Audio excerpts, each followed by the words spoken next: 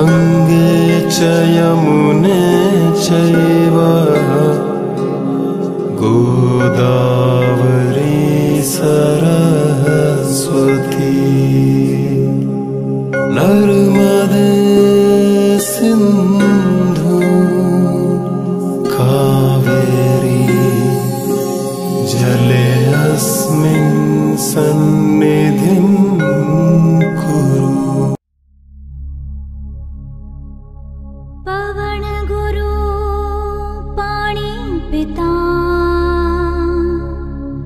माता तरत महत। दिवस रात दोय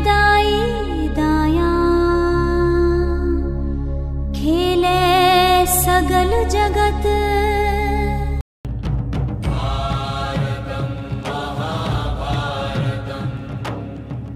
Water, as we all know, is extremely crucial for all humans, plants, and animals.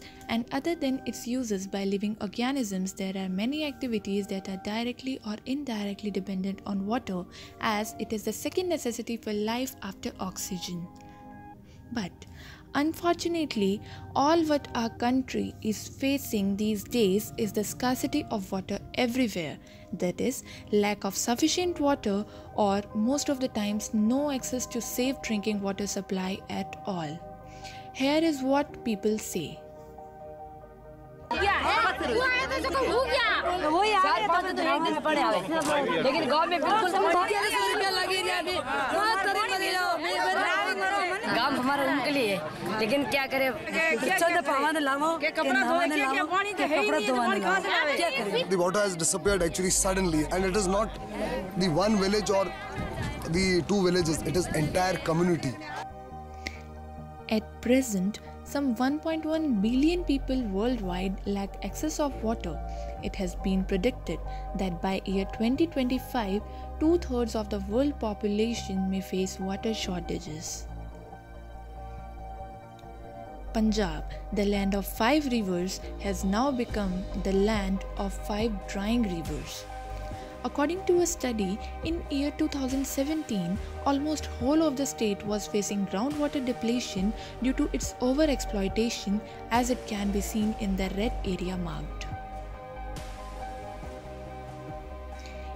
In 1985, the groundwater level in Punjab was not more than 10 meters below the earth's surface, which by 2017 became 20 meters, and as predicted, by 2035 it would become more than 40 meters below the earth's surface.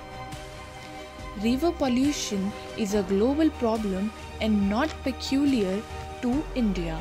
However, rising pollution of rivers in India is a significant concern for Indian government and population.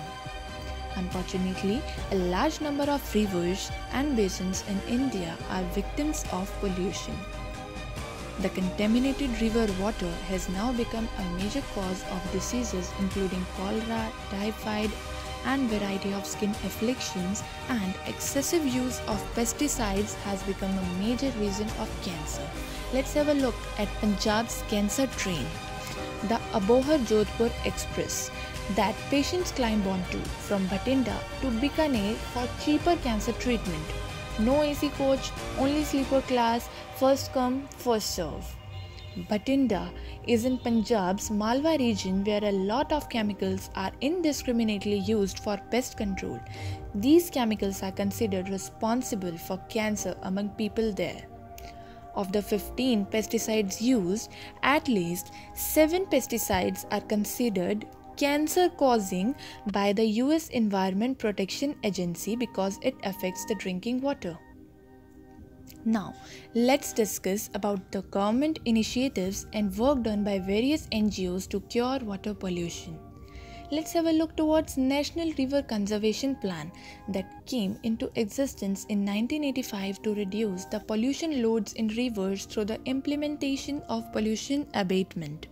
The works taken up under NRCP include interception and diversion works, that is, laying of sewerage systems to capture raw sewage flowing into the rivers through open drains and diverting them for treatment. Second, setting off STPs for treating diverted sewage and constructing low cost sanitation toilets to prevent open defecations on river banks. Next we have bioremediation which is initiated by government of Delhi after the Ludhiana's Buddha Nala case which involves the use of vegetation to create an artificial wetland ecosystem for sewage treatment. Next is the Namami Gange program which is an integrated conservation mission approved as a flagship program in June 2014 for effective abatement of pollution and conservation and rejuvenation of national river Ganga.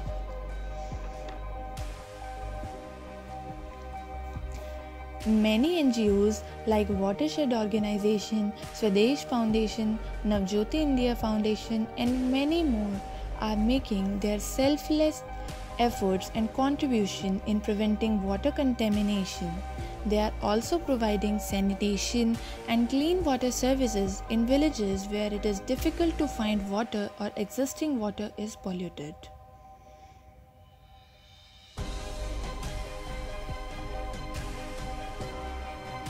CSIR India too has served to minimize these effects and have significantly contributed to several cost effective methods and equipments that will provide safe drinking water both in rural and urban areas. It has also developed large capacity reverse osmosis and simple technologies such as ceramic membrane and clay based filters to serve to industrial installations and needy capacity communities.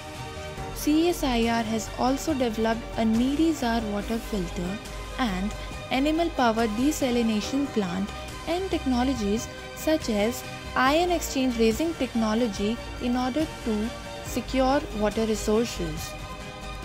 It's obvious that the whole world needs water to survive. Therefore, it's our responsibility to save water and protect the planet. Here is a small message for same.